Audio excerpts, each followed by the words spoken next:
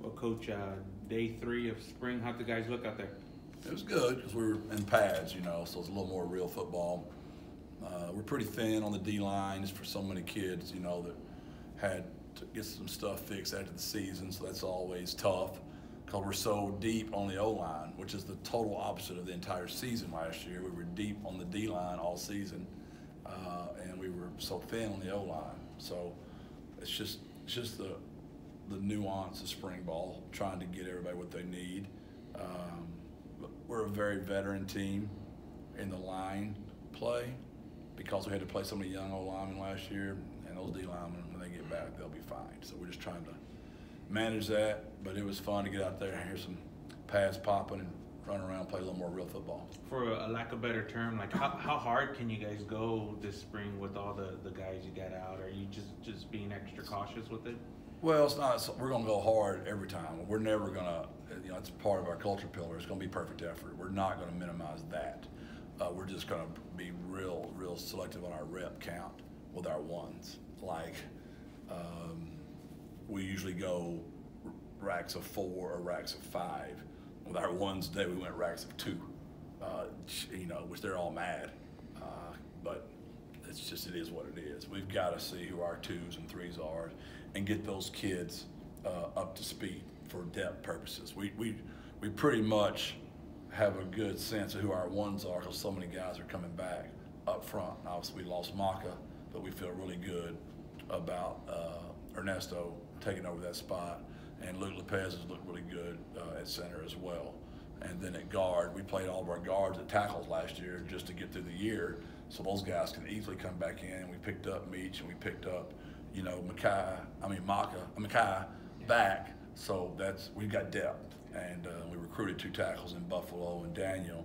So, uh, you know, it's just it's just funny how last fall I was managing the O line the entire season, and the D line's over there just deep as can be, and now we're managing another situation. I was looking at Buffalo and uh, Daniel, I guess, and man, they look pretty big in the pads today, don't they? Yeah, there's a reason they're the top two, you know, JUCO tackles, you know, in the country. They're light on their feet, and they're big, long fellas. They just got to learn our system. But uh, really excited about Buffalo, Buffalo, and I call him Buffalo Soldier and Danielson. That's, that's their nickname. Big nickname guy. Big nickname guy. The only thing bad about that, I've already learned this, is when you do that all year, and then you go to media day, and people start asking you, you know, I'll never forget. Uh, Pork Chop, you know, when I got here. Yeah. And he had like four nicknames. Yeah. And uh, I didn't even remember what his real name was. and they were asking me about this kid I had. At, at I mean, you talking about country? You talking about Pork Chop? I mean, yeah, all those people, but didn't know his real name. What were the advantages of moving Ernesto back to center? What does he bring to that position? Just a lot of time with doing it. We'd like to get Meach in there some. We'd like to get Makai in there some, just for the for them at the next level. Uh, so we'll work those guys in there as well. I think Walker could be good at it too. Uh, you just got to snap them. And I've tried to share with those guys. I can't tell you how many guys that told me they were tackles, didn't want to go in there and snap. It was like an insult. And uh, I had a kid at Gilmer named David Snow, one of the best offensive linemen I've ever coached, and never ever wanted to play center, and always made him snap. And uh, him and Kurt Rowe, they're fighting because you know, David didn't want to snap. He goes to the U.S. Army All-American game down here in San Antonio. All the centers get hurt. Coach asks if anybody ever played center before. David raised his hand. He'd never played in a game, but he had snapped a ton and played it in practice. Gets out there in an Army All-American game, NBC, looks great there. Uh, goes to University of Texas, plays center and guard. Played for, I don't know, at least a handful of years in the National Football League interiorly, right, in the inside positions. So the more multiple you are in there, the better it is. Ernesto's played guard for us. He's played tackle for us. He's played center for us, and he just can play all the spots. And that's that's a very valuable piece to this. Does his experience playing right tackle last year translate and help him now at center, or is it sort of a whole new set of skills? Uh, it's it's a whole new set of skills, but it's it, it lets you know if, if you got to make a 5-0 call up there, he's gonna be able to block, he's gonna be able to single. Uh, he'll be fine on the singles because there's a lot of single blocks up there at tackle. Where guard and center, you're a lot of combo blocks. You're getting some help for people. How comfortable is he with making those kind of calls? Is he still learning that, or how does that come together? Nah, he's been playing for us as long as I've been here, so he's, he knows it very well. He's very intelligent. Uh, he's, a, he's a good football player. He really bailed us out last year. I mean, Frankie was the you know the one that got all the attention, but Ernesto really did a heck of a job. But he got hurt so much. You know, while he was gone, that was a big loss, and we got him back there. And it's not a coincidence that you know we got a little better when he got back. Coach, what's the uh, I guess coaching dynamic between Kurt and and Coach Anderson? I guess how different is it from this time last year? Uh, it's just it's the same as far as responsibility, except uh, Kurt became Mattox and Jerry became Kurt, and uh, but now Kurt is you know more responsible for the, the run game coordination, whereas him and Matt worked in that. And Jared, you know, it's it's it's, it's really semantics, honestly. It's just in case there ever was an argument, at least you know who's going to settle the argument because you put a title on that guy. But uh, I just don't work that way. I mean, it, it, and I know y'all don't like it that way. It's not good for the media per se because it's it's a real collaborative effort here. And I know it's always well, who's calling the play and who's doing that, and we just don't see it that way. I mean, Jared's been an OC for years. Uh, he's coached every position on the offense. Um, he's an elite recruiter, so he's going to be valued a lot in that his input. And, and Kurt and I have done this a long time. This is year 34 for me, and I don't know how long for Kurt, but it's a minute. And uh, we, we understand that, you know, you gotta you gotta listen to people. You gotta include people. I mean, collaboration's is a big part of this. If you never take anybody's ideas, they're not gonna give them to you anymore. Then you're coaching by yourself, and that's a bad, bad feeling, right? I've done it long enough. I'll let sometimes I'll let them do what they want to do just to watch them fail because it was their idea. I knew it wasn't going to work to begin with, but you gotta let them. You gotta let them learn themselves sometimes. That's a better way to learn than it is to never give them a chance. They're gonna quit trying. So we, we work collaboratively. I know it's a uh, I know it's a very long answer to your question, uh, but I don't I don't want to over I don't want to overstate Kurt's importance and minimize Jared's importance. The biggest deal for me is why I move up within is for the players. It's I, I want it to be a, a continuation of what they all know, uh, the way we handle them, the way we treat them, the expectations, the verbiage. Uh, so it's not like Jared's coming in doesn't know football. We all know football. We just have a certain way we do it. I mean, there's just a certain language we speak. There's a certain culture we have, and uh, I don't know if it was one of y'all had a clever bird talk or whatever y'all had it. Somebody had a nice little clever uh, way of how we communicate, and uh, more like bird chatter with me probably. But yeah, that's their roles. Is there a reason you wanted to devote two assistant coaches to that position over any other? I've always done that. I just always felt like that was the position. One, one at five elevenths of your offense is right there, and, and you know how we use our tight ends. That's really an extension of the O line, right? And we play two tight ends quite a bit. So I just think that's where you need the most coaching. I think it's the most important position on the field as far as getting your kids coached. And I've done that as long as I've been a head coach. When we were at Old Gilmer, Texas, the, the first person to have an assistant was Kurt, because I always wanted four eyes on those six people. Uh, and I have a tight end coach as well. But let's be honest, I was a tight end coach. I mean, how much do you think I really went down there and worked on blocking? Uh, we down on every route there was in the world, right? And the, the, the, blocking wasn't as important to a tight end coach. And I'm not saying that Bert doesn't make them, that's not important to him. But I just know when you have a line coach involved with those tight ends, he ain't worried about no catching. And any tight end I've ever coached, they can catch. They all play basketball, they all play baseball, they can catch. Get them a good stance, ID in front, plus, minus, Ringo, Lucky, where's it all coming from? That's a lot of work. And we're going to play our tight ends. And we've recruited and developed some very good tight ends since we've been here. We're really proud of that. You guys are nearing the end of week one of spring practice. What have you liked that you've seen so far, and what do you hope to see when y'all return from spring break? That, that, that's um, an easy one for me. With 17 kids coming in here uh, and losing so many valuable members of our team last year, I was really worried about would there be a dip in our culture? What would our meetings be like? What would our practices be like? And I've seen nothing but a continuation, uh, you know, of our younger kids becoming older kids and our older kids now teaching the kids that just came in. That's been a beautiful thing to see. All the high school coaches that we've had in here, we've had quite a few Texas high school coaches in here.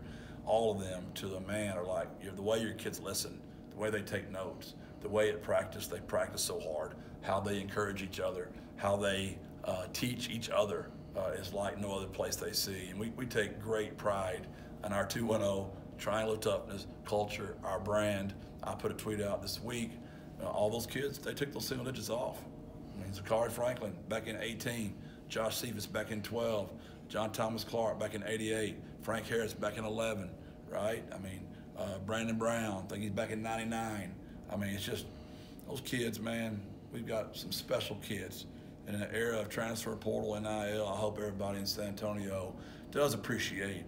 Uh, we're not perfect by any stretch of the imagination, but man, for an 18 to 23 year old kids, they've got humble spirits. They do it right. Coach, you uh, hired a general manager for the first time in program history here. What does that position mean? And I guess what was why was there a need for that here? First, I think it's a compliment to Kevin Brown. I mean, I think I, I put too many hats on Kevin, and uh, probably what drove him out of here. Uh, but when him and I started together, this wasn't what it was, right? Three years later, uh, NIL's here, transfer portal's here.